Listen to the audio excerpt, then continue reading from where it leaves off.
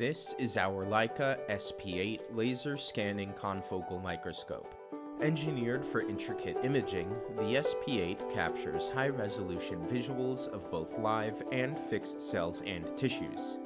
Standout features include its white light laser, tunable from 470 to 670 nanometers, and its adaptable filters, which allow up to five channels of simultaneous imaging or nearly infinite sequential scanning possibilities.